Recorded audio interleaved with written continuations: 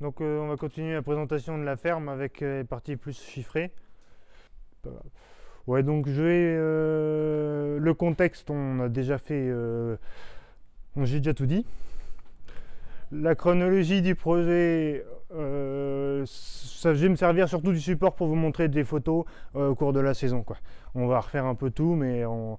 donc voilà un peu ce que j'avais mis comme matière, comme quantité de matière, fumier, fumier très gras de poule, euh, et puis du BRF sur les parcelles. Et c'est sur ces parcelles-là, avec cet apport-là, qu'il y a eu des euh, phénomènes d'anaérobie, euh, de couches euh, euh, étanches à l'air et à l'eau, enfin pas à l'eau mais à l'air, qui se sont formées à l'interface sol euh, euh, apport. Il était très compact, très gras, très noir, très, très pas beau. Euh, après, j'ai remis un peu de foin par-dessus, comme ça, euh, la densité à la main, rétalé, tout ça. Là, j'avais mis du. J'avais récupéré des petits ballots et je les avais passés à l'épandeur. Ça avait bien marché. Bon, il fallait refaire un coup de fourche après, derrière, comme je faisais, mais ça en faisait beaucoup. Et donc, euh, le petit. bah, des fois, oui, dans une vieille grange, quand on s'installe, il y a un stock qui traîne, là, qui est- ça fait 15 ans qu'il est là. Bon, bah, il, il va très bien, quoi. Une bâche, et puis voilà. Donc, euh, installation début 2015. En mai, j'ai fini de monter les tunnels et puis l'irrigation. Oui. Et puis voilà un peu les chiffres clés. Donc ce que je disais, c'est que je travaillais à peu près 70% sur le maraîchage. Ma femme m'aidait un peu, puis euh, avec, euh, oui, euh, oui, j'ai mis 80% avec. et donc ça faisait un volume estimé horaire total, moi plus ma femme qui m'aide de temps en temps, et puis les gens de passage, à 50 heures par semaine. Donc c'est pas énormissime. Et moi, je travaillais que 35 heures finalement par semaine sur le maraîchage, puis le reste de mon temps, je, bricolais sur la ferme. Donc euh, oui, les chiffres précis, là, vous les avez, euh, de surface que j'ai vraiment euh, utilisé cette année. Et puis, euh, au niveau des ventes, j'ai une AMAP, enfin j'ai deux AMAP très petites qui correspondent à- en tout à 25 paniers par semaine, donc mais ça tourne bien. C'est la fameuse clientèle que j'ai récupérée dont on a parlé tout à l'heure. Et puis euh, le marché à Vimoutier et une vente à la ferme. Donc là, vous avez un peu les chiffres d'affaires que ça engendre à la semaine. Donc ça, euh, bah, quand on s'installe et qu'on a la chance de nous, que l'on vous donne une clientèle, c'est assez, ça vous permet dès la première année d'avoir euh, directement euh, l'assurance de la commercialisation. Alors, des chiffres clés. Euh, donc l'investissement, on a beaucoup investi. Quand on regarde euh, après coup, on se dit il y a des choses qu'on n'aurait pas dû faire et des choses qu'on aurait dû peut-être plus faire, mais grosso modo pas beaucoup plus. Ce qui coûte cher, donc c'est les serres, mais bon, c'était encore euh, une bonne occasion. Le tracteur, le système d'irrigation, donc euh, 4000 euh, 4000 euros, 4000 mètres carrés de toile tissée, ça fait euh, un peu moins d'un euro le mètre carré avec les agrafes, voilà. Voilà l'investissement. Le broyeur, je m'en sers pas. Les pendeurs, je m'en sers pas. Le tracteur tondeuse, je m'en sers pour euh, faire le, entretenir les bords de, de planches. C'est pas mal. Ça, Euh, non, je le garde parce que je m'en sers quand même de temps en temps pour entretenir mes prairies. ouais, non. Mais tu vois, je, je, m'en sers pas pour euh, le maraîchage, mais je m'en sers pour mes prairies et de temps en temps, ouais, sur un truc de maraîchage, ça va me, je vais dire tiens, ça, ça, va. Mais même là, je, me dis bon, bah, il va falloir que je casse mes, grosses euh, trognes de choux. Bah, je vais y aller à la machette et puis je vais les casser en deux secondes. Ça va m'utiliser moins d'énergie, moins de temps qu'un coup de passage de broyeur, le temps de l'atteler, le, dételer. Ça crame du fioul, ça, ça apporte pas grand. Enfin, moi, pour, pour ce que j'en ai besoin, m'a- c'est pas un outil qui, qui met vraiment. euh, donc, euh, c'est un outil. Donc là, c'est un broyeur non pas à axe euh, vertical, mais à axe horizontal, avec des gros couteaux qui permettent de. François utilise ça, et c'est pour ça que j'ai acheté à peu près la même technologie. C'est que ça permet de soulever la paille des fois. Là, ça germe parce qu'on ne sait pas pourquoi ça s'est mis à germer. On va, on va racler un peu les, graines qui sont les plantes qui ont germé et, on va les envoyer, on va du coup désherber quoi. Donc ça, peut-être que un jour je vais l'utiliser. Puis les pendeurs, bah oui, je l'ai pas acheté cher. Oui, c'est pratique. Mais en fait, euh, moi, je me rends compte que dans ma démarche de simplicité, plus on a de matériel, plus on a de problèmes, plus on perd du temps. Et moins on a de matériel, moins on a de problèmes et moins on perd du temps. Après, évidemment, c'est des logiques que l'on peut utiliser que pour des surfaces entre guillemets limitées. Mais déjà, quand on je pense qu'on peut faire des grosses surfaces avec euh, euh, bah, avec un salarié, ou voilà, et quand il n'y a plus qu'à planter, ou, ou, pourquoi pas investir sur une planteuse euh, si on veut vraiment aller vite. Mais finalement, euh, au départ, j'aime bien l'idée de on s'installe avec pas grand chose et ça nous évite de nous perdre du temps à commencer à réparer les pendeurs parce qu'on l'a acheté pas cher et puis qu'il va foirer, de réparer le tracteur parce que ça c'est ce qui m'est arrivé. J'ai eu 3000 euros de réparation sur le tracteur parce que j'ai fait une grosse connerie avec. Euh, et alors qu'en fait euh, j'aurais pu ne pas du tout l'utiliser dans ma démarche. Avec, en partant de prairie, j'avais pas besoin d'apporter des gros amendements. J'aurais pu euh, simplement bâcher et enfin c'est ce que j'ai fait finalement après coup. Donc avec du recul, on se rend compte que les investissements avec la technique maraîchage sol vivant peuvent être extrêmement limités, mais ils peuvent être aussi importants si on veut des grosses surfaces, si on veut de la, technologie, qu'on sait exact. Mais moi, je pars du principe que plus, enfin, quand on est débutant, c'est difficile de savoir exactement quelle technologie on a besoin pour, est, euh, pour le sol que l'on a, pour les contraintes que l'on a, pour la, les matières euh, que l'on a de disponibilité, parce qu'on arrive sur un terrain, on ne sait pas si on va finalement pouvoir trouver euh, localement avec le voisin, s'arranger à avoir de la paille, du foin, du carton, du voilà. Donc si on a besoin de mettre du carton, il bah, va falloir trouver des machines qui charrient du, carton, et donc ça va être peut-être des plateaux, et ça va pas du tout être un épandeur. Enfin voilà, je dis des choses comme ça pour, pour essayer d'amener une réflexion de de soit euh, s'installer parce qu'il y a des gens qui, sont, qui ont cette démarche-là parmi nous, et euh, soit changer de système, de dire bah, il n'y a pas forcément besoin de, changer de système et d'investir euh, au maximum. Le gros avantage donc, de cette technique, c'est que ça apporte une certaine autonomie et une certaine facilité à l'installation. Euh, donc c'est bon, on a tout. Euh, donc les produits dès la première année. Donc là c'est euh, mon estimation de vente de cette année sur la saison complète. Donc j'ai déjà 27 000 euros de revenus. Et puis après on voit déjà les, on voit les charges.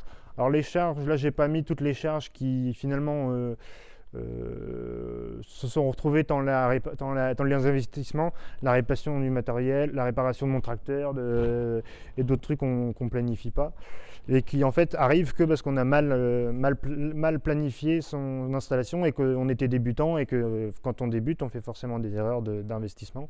Et c'est ça qui augmente les charges parce qu'en fait comme on n'a pas prévu les investissements, on n'a pas prévu les prêts en conséquence et du coup on se trouve à la première année à dépenser beaucoup d'argent et à pas avoir. Euh, donc là, les charges que, que j'ai là, je les ai un peu, enfin, je les ai diminuées par rapport à la réalité pour dire, je suis sûr qu'on peut y arriver si on fait bien attention à bien réfléchir à son système euh, au départ et de ne pas avoir toutes ces charges qu'on peut très vite arriver à avoir quand on s'installe et qu'on fait des erreurs.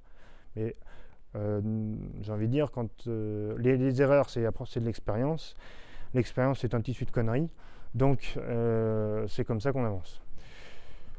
Donc au niveau des charges, voilà, euh, très peu de carburant. Euh, les semences et les plants, je les fais moi-même sur ce qui est facile à faire, les tomates, les courges. Le reste, j'achète. Et puis j'essaye de semer aussi le plus possible. Euh, les épinards, j'aime les semer plutôt que de les acheter en plan, des choses comme ça. Essayer de simplifier pour justement avoir moins de coûts, moins de charges.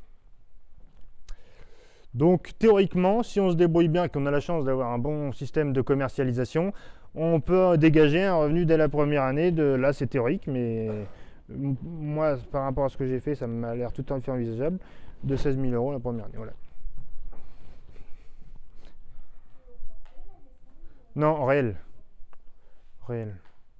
Parce que comme on a d'autres... Euh, là, c'est les charges que de l'atelier maraîchage. Euh, il y a d'autres ateliers, et puis ça nous simplifie on a l'impression d'être gagnant à être au réel parce que les premières années on va pas du tout payer de charges parce qu'on est on fait que d'investir puis après ça va s'équilibrer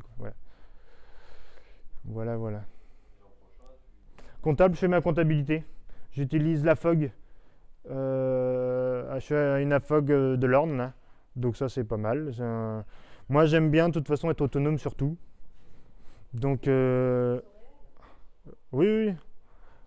Je faisais la comptabilité sur la ferme de mes parents, c'est une grosse ferme, j'y arrivais à peu près. Donc, euh, euh, bon, euh, chez mes parents, je faisais que la, la comment on appelle ça, pas le lettrage, mais le, aidez-moi, la saisie, voilà, la saisie comptable. Après, tout, le reste, c'était fait par le comptable sur la ferme, de, faire les déclarations, tout ça. Là, maintenant, c'est moi qui les fais, les déclarations. Au début, on a, on a peur, et puis il faut bien se dire que même si on fait des erreurs, l'administration comptable va venir nous revoir et nous dire Ah, bah, vous avez fait une erreur. Ah, bon, pardon, excusez-moi, je ne savais pas. Je corrige tout de suite, on est d'accord. Et puis ça, ça passe comme ça. Quoi. Et je, oui, voilà, au passage. Alors, alors l'irrigation, oui, on n'a pas parlé de ça, en effet. Donc, j'ai un puits sur la ferme qui débite pas beaucoup, mais qui a beaucoup de volume. Donc, faut pas trop. Je peux arroser avec ce, enfin, qu'une seule serpe à la fois. Mais bref, ça marche très bien. Et donc, je suis en goutte à goutte dans les serres. Et à l'extérieur, j'ai partout des, tuyaux d'eau qui ressortent à gauche, à droite, euh, ou des planches pour pouvoir racco- raccorder mon gros tuyau jaune et puis ma, ma lance. Et sur les semis, je vais arroser les semis euh, en temps sec. Les semis de juillet, de radis noir, des choses comme ça, là je vais les arroser si j'ai l'impression qu'il ne va pas pleuvoir pendant deux semaines. Sinon, j'arrose jamais dehors, pas besoin. Le paillage retient beaucoup le- l'eau et, euh, et ça se passe très bien. On pourrait s'amuser à arroser les poireaux et les céleris parce que c'est des légumes très exigeants en eau et que euh, d'après ce que euh, a essayé François, plus on arrose, plus ça fait des gros, des gros calibres. Donc ce serait intéressant de mettre du goutte à goutte là-dessus, mais mon système est tout à fait adapté pour le faire. Mais bah, l'irrigation, c'est vrai que c'est un gros sujet euh, de savoir comment on installe un sujet, une installation d'irrigation. Il faut se poser les bonnes questions, il faut faire au plus simple, faut profiter de l'eau qu'on a de partout. Avec, enfin bref, avec les serres, on peut ré- récupérer de l'eau de pluie très facilement.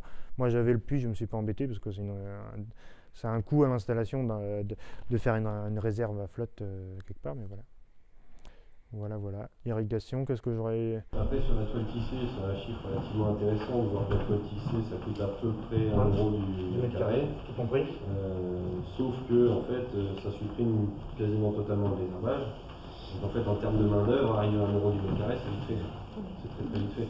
Donc, sur une bâche, euh, même une bâche d'ensilage qui doit plutôt être à 30 centimes, qui va durer 3-4 ans, Ah oui, une bâche d'ensilage, c'est 30 centimes, c'est 30 centimes, donc c'est pas très cher, ça fait à peu près le même effet. Et une toilette tissée à 1 euro du mètre carré qui dure 20 ans, en fait, c'est cadeau. C'est vraiment, euh, vraiment une solution très efficace pour, euh, pour réduire énormément la, charge de travail. Et ça n'empêche pas d'avoir un système agronomiquement intéressant non plus. on voit qu'on peut très facilement concilier les deux, euh, avoir de la vache et avoir, du, et avoir un système agronomique avec un seul bien vivant. Donc ça, c'est un des investissements que je vous invite à faire le plus. Quoi. Ça, du paillage, parce qu'on voit que sur beaucoup de cultures, le paillage, ça fait tout à fait le travail du désherbage, de gestion d'herbe. Et, et donc voilà, la toile tissée, euh, ça, on peut avoir l'impression que ça fait un chiffre un peu important, mais en fait, c'est très très très rentable, eu égard à toutes les économies qu'on fait par la suite. La, la, la durée de vie des bâches, à peu près le- la bâche d'ensilage, ça dépend comment tu l'utilises. Ouais, c'est vraiment. Euh, ça dépend peut durer 5 ans si tu en prends soin, quand tu la replies, tu la déchires pas, etc. Euh, ça peut durer longtemps. Si... Il faut vraiment essayer d'éviter qu'elle s'envole en fait la bâche d'ensilage, c'est quand elle s'envole et elle fait plein de plis, elle se déchire. Euh, si elle est bien listée, ça, peut durer longtemps. Ce qui, ce qui fait apparemment la différence dans la bâche tissée, c'est la, qualité du tissage. C'est-à-dire qu'il y en a qui vont être tissés lâches et du coup les chaînons vont passer à travers la, bâche. Quoi. Et d'autres qui vont être très bien tissés. Et c'est pas tant le grammage qui compte, c'est surtout c'est-à-dire le poids de la bâche au mètre carré.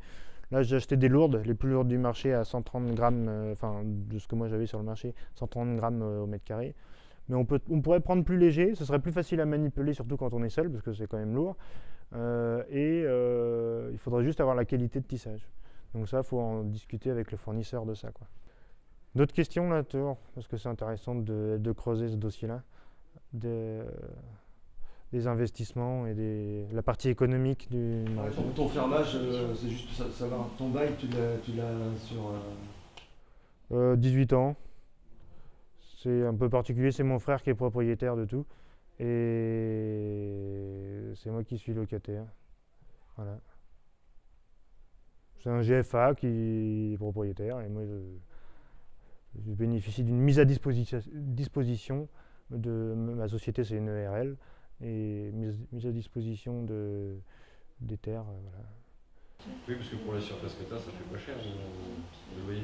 Bah oui, ça fait pas cher. Hectares, oui, t'as la maison avec C'est correct. oui. On est dans les minima des critères obligatoires quand même. Mais euh, oui, je suis, dans les, je suis pas dans les maxima, c'est sûr. Et de surface de pour euh, sortir ce point-là Ah bah ça dépend comment tu gères ta prairie, parce que là ça peut aller du simple au, au- au dixième. Non, bah, même si tu fais rien, tu peux aussi rien faire et avoir le 10 fois la production. Les prairies, c'est quelque chose.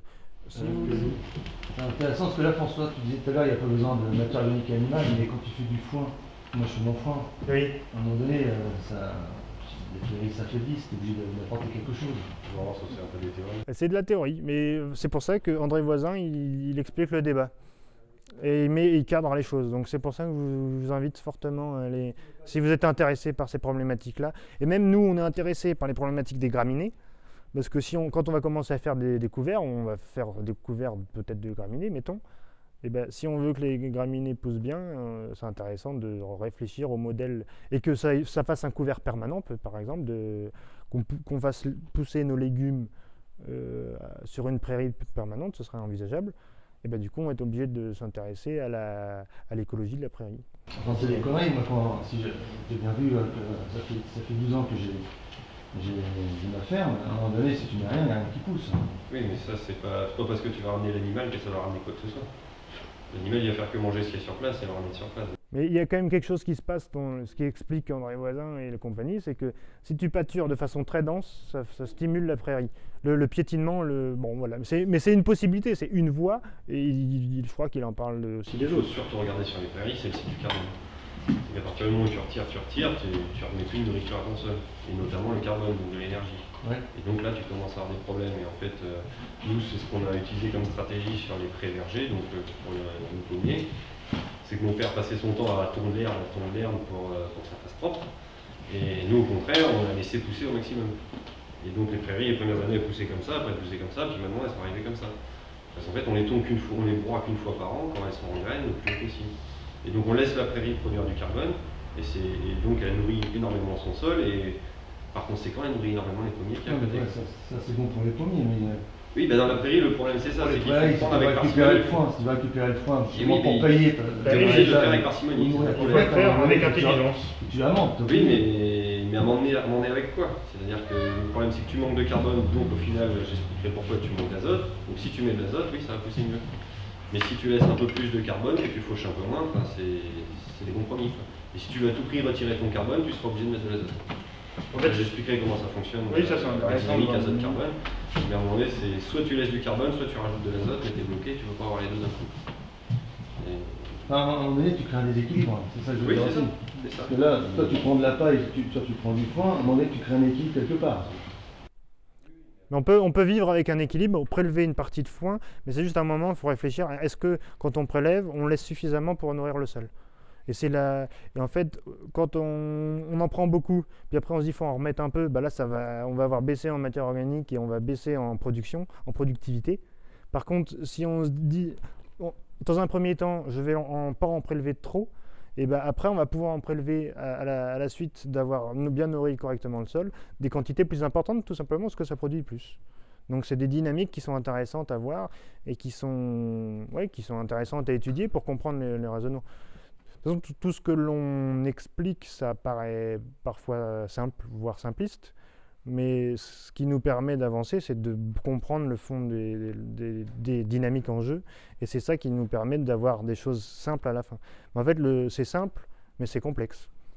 Tandis que euh, dans la vie, ce qu'on fait euh, général de notre société, elle a plutôt tendu à tout rendre compliqué.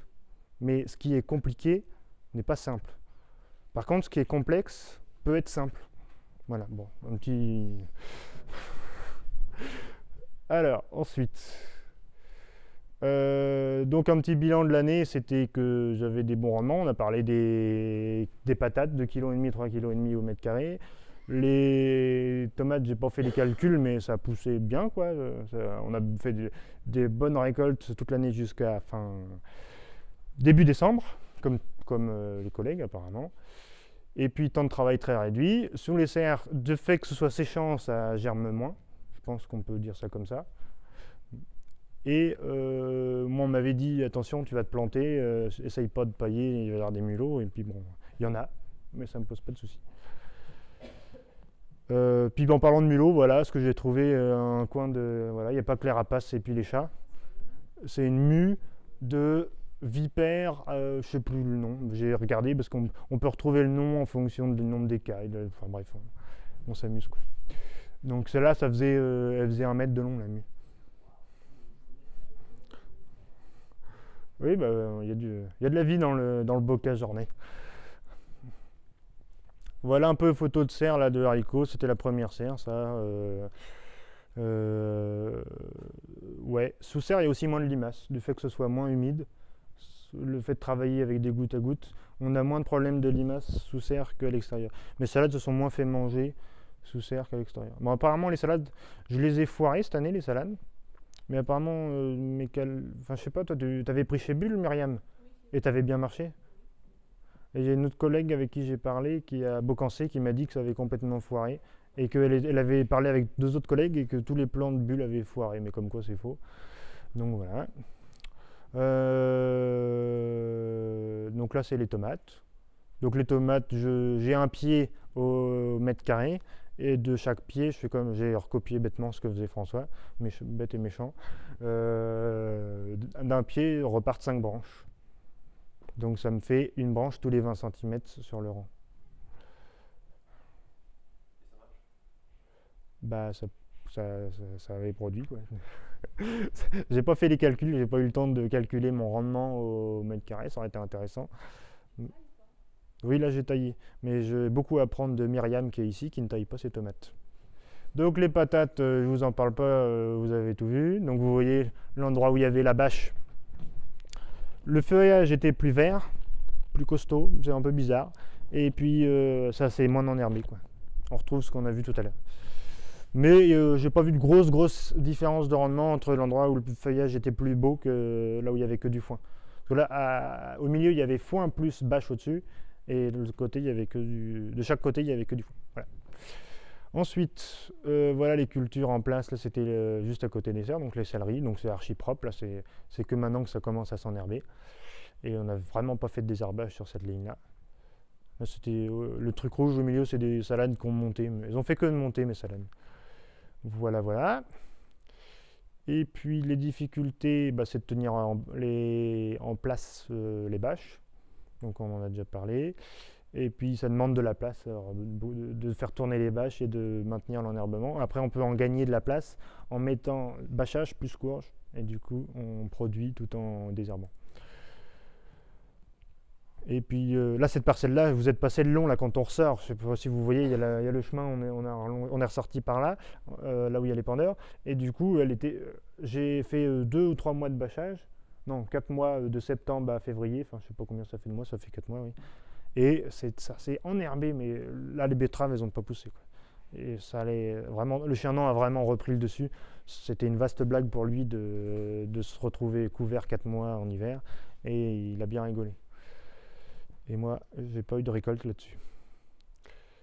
Euh, oui, bah ça, voilà, en pleine saison, c'est un peu plus haut que tout, qu'en hiver. C'est la, la planche à droite, là, quand on, la première qu'on a vue. Mais par contre, on a de malgré l'enherbement, on a des belles récoltes. Parce qu'on a de la fertilité euh, derrière prairie. Alors, le problème des limaces, pour moi, on va le résoudre. J'ai eu beaucoup de pertes sur les salades et parfois sur les choux. Euh, à cause des limaces, pour moi, il faut mettre euh, du ferramol première voie.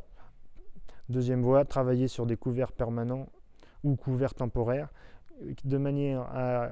On a un beau couvert, on le couche, du coup on n'a plus besoin de trimballer de la paille, et on... on a quelque chose qui est en cours de décomposition, donc la limace va aimer est faite pour euh, manger des, produits en cours- frais en cours de décomposition plutôt que du frais tout juste planté. Et du coup, on n'aura pas de soucis. C'est ce que raconte Conrad Schreiber euh, en grande culture. Voilà. Donc là, euh, si on n'utilise pas de couvert, la, méthode c'est Ferramol ou terre de diatomée. On pourrait faire des essais. En gros, les deux stratégies, c'est soit on la tue, soit on la nourrit. Voilà. Pour, euh, Si on la nourrit, il faut la paix. Si on la tue. Alors pour l'instant, tuer, on sait très bien faire, c'est facile. voilà. Euh, Il suffit de mettre beaucoup de barbelés, ça marche. Euh, Nourrir, nourrir, c'est euh, moins bien. Nourrir, il y a encore des stratégies à développer parce qu'il y a plein de sortes de limaces et on se retrouve la même chose, etc. Mais il y a des résultats en grande culture qui sont très intéressants là-dessus, de, de semer des plantes qui vont être des appâts et qui les limaces vont se nourrir préférentiellement. Alors, il y a des plantes comme le tournesol qui aiment bien ça, et, euh, enfin les limaces adorent le tournesol, et donc euh, si on fait un SMIC colza, euh, un SMIC colza, ben, on peut mettre du tournesol dedans. Et en plus, comme c'est le tournesol par exemple, ben, il est gélif, l'hiver il va crever, il ne emmerde pas. Donc il y a des stratégies comme ça qui sont assez efficaces, qui peuvent être assez économiques. Mais, euh, mais bon, l'orthophosphate de fer, c'est un produit qui est assez intéressant quand même, qui n'est pas dangereux normalement pour la faune et la flore. C'est- Oui, le poil en fait, C'est a priori un très bon produit. donc, pour l'instant, on se fatigue pas trop, on balance de. Ou sinon, aujourd'hui, vous pouvez en avoir moins cher, ça s'appelle le Slux HP. Vous trouvez ça dans les coopératives, euh, chez les conventionnels.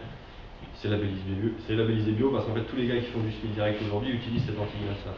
Parce que les autres anti-limaces tuent les vers de terre. Alors que l'orthophosphate ne tue pas les vers de terre. Et donc les céréaliers qui font du SMIC direct commencent à utiliser l'orthophosphate sous l'appellation Slux.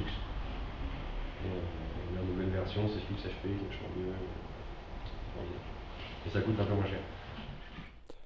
Euh, donc les difficultés, c'est le semis de petites graines, c'est-à-dire euh, uniquement carottes panées. De vraiment petites graines par rapport aux, aux autres graines. Parce que le navet, le navet, tout ça, on a vu que ça, ra- radis noir, euh, betterave, blette, tout ça, ça germe, épinards, ça germe très très bien. Et puis un, truc dont j'ai pas parlé euh, sur place, euh, j'ai- parlé avec le tracteur tondeuse, c'est qu'il y, a des- places où j'ai pas mis j'ai mis ma planche au ras d'une clôture par exemple et j'ai pas laissé de place entre ma clôture et ma planche. Et du coup j'ai pas laissé de place pour pouvoir passer un tracteur tondeuse une petite, même à main ce serait suffisamment ce serait suffisant ou, le faire euh, c'est moins efficace au débroussailleur Euh, ça permet d'étouffer et d'affaiblir les vivaces en bord de planche parce que sinon elles adorent rentrer euh, avec leur rhizome de- de- depuis le bord de la planche vers l'intérieur de la planche et du coup après ça s'enherbe très fortement aux, abords des planches. Par contre de l'affaiblir en venant le, broyer, le, le tondre régulièrement, fait que on va avoir moins ces phénomènes-là. C'est particulièrement vrai sur le chardon aussi. Le chardon du fait qu'il va pas pouvoir, parce que ce qui se passe sinon, c'est que le, le chardon est tout beau, il est tout gros, euh, à juste à côté de la planche parce qu'on l'a laissé tranquille, et euh, du coup il va se mettre à, voilà, justement à, étendre ses racines un peu plus loin pour voir euh, si l'herbe est plus belle ailleurs. Et puis, euh, justement, là, il se met à pousser de, de, par tous les bouts. Parce qu'il, il- même si on le bâche à un moment donné, les racines sont connectées au plan vigoureux qui est juste à côté. Et c'est- quand on va débâcher, ça va repartir aussi sec. On n'aura pas du tout tué les racines parce que tout est interconnecté. Voilà. Euh, oui, on en, je ne reparle pas du. Là, on voit un peu de photos de sol entre un, sol vaseux et puis un sol euh, anaérobie, là où il y a l'anaérobie avec euh, du fumier, puis un sol sans fumier. Mais je ne dirais pas que c'est le fumier qui fait ça, parce que il y a des gens qui m'ont dit Ah, bah moi j'ai eu de la vase quand je me suis installé à partir d'une prairie, que aux endroits où, j'ai mis du, où je n'ai pas mis de fumier. Et là où j'en ai mis, ça n'a pas fait. Donc voilà, on ne sait pas ce qui se passe. Et grosso modo, bon, j'éviterais les fumiers gras, mais des fumiers euh, pas gras, je ne verrais pas trop d'inconvénients. quoi. C'est ça que je conclurai vis-à-vis de ces différentes observations. Et voilà, j'ai fait le tour. Malgré tout, on voit qu'il y a un lien avec l'eau parce que si on utilise de la bâche d'ensilage, euh, ça fait jamais ça. Et à partir du moment où on utilise de la bâche tissée, euh, Ça fait plus. ça le fait plus. Ah oui, parce que la bâche d'ensilage assèche. Mais elle laisse pas passer l'eau. Et en fait, Et on a- du coup, enfin, ça moi, j'ai jamais, jamais vu ce problème avec la bâche d'ensilage. Mmh. alors que j'en utilise beaucoup. Donc c'est probablement parce que ça laisse passer l'eau et qu'il se passe quelque chose avec la matière organique et l'eau. Voilà. Donc que ce soit probablement des champignons, parce qu'on voit que c'est rempli de champignons, mais en même temps, champignons ça se s'observe pas si facilement que ça. Donc euh, il y, a un- il y a un risque à ce niveau-là.